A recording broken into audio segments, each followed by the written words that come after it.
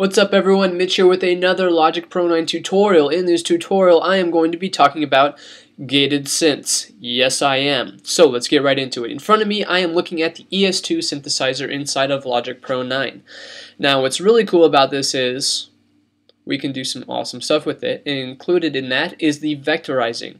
Now I went over vectorizing in the ES2 a very long time ago. It's probably one of my first tutorials I've ever made and uh, it, it, was quite informative. And we're going to be doing something along those lines today. All right. Now, what I have here is just a preset um, in the ES2. It's called the Everlasting. It's going to sound like this. All right, so pretty cool, pretty bass. But uh, what we're going to do is we're going to make this a gated synth, alright? So, first what I want you to do is click this vector tab down here underneath the router, and you're going to see this bar. This is going to be the vectorizing bar, and then you're going to be using the uh, grid up here, alright?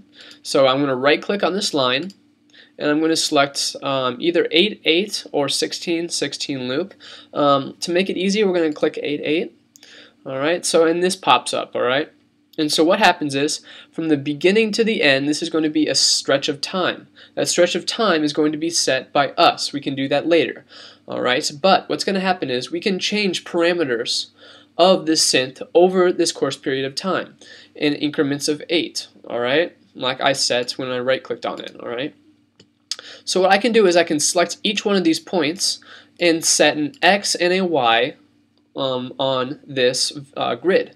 All right, and we can select the X target and the Y target. In this case, uh, gated synth is all about volume, high volume, low volume. All right, so what we're going to do is I'm going to select the amplifier and increase the intensity up to 1.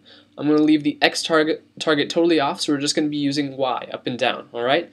And so this is what's going to happen. If I hit solo and I select this first point, I can press uh, a key on the keyboard and move this vector up and down, and you'll see what happens. Alright, so now we can easily map volume of that key. Alright, so if I unclick solo and go through, I can uh, manually for each point on this line select the intensity of the amplifier. Alright, and so as I finish this up, it's gonna just finish this up, just finish it up, and we're done. Alright, so let's see what it sounds like.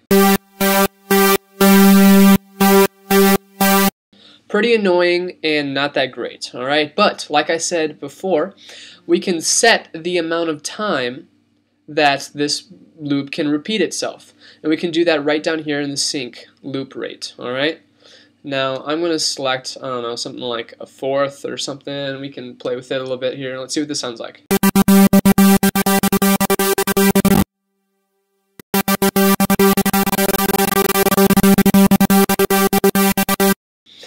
Alright, so we can easily speed it up and it sound it starts to sound like a really cool gated synth. Alright, so and you can play with it and do whatever you want with it, but here this is the basic idea to how to build gated synths inside of the ES2. Now this isn't the only way of doing it. There's also ways of using sidechaining, you know, sidechaining a certain synth that only hits on the spots that you don't want um, another synth to be doing. It's it's difficult and it's slightly stupid, but um, it's very it's much more customized than it is here. And that's the only reason you would want to do that all right? Another thing I found in the ES2 is that it's hard to sync up in time. Some somewhere in the wiring the software of this plugin um, the syncing isn't perfect I guess if is what I'm trying to get to. And uh, I mean it happens with the actual when you do use dubstep with this ES2 and even here when I'm using vectorizing to, to, to do gated synths Alright, so um, take that for what it's worth. Um, you might want to try some side chaining um, and see where you can get with that. So uh, everyone, thanks for watching. If you have comments on this video or others that I have done, please shoot me a message or just hit me up in the comments, whatever. Now, if you have uh, suggestions on future videos, I do have a for a forum, no, not a forum, like a checklist, I guess, of uh, tutorials that I will be doing in the future but you just get to choose which one I do first, alright, so pretty cool. Um, I will post a link to that in the description. So please comment, rate, subscribe like a freaking best, and I will be seeing y'all very soon. Peace out.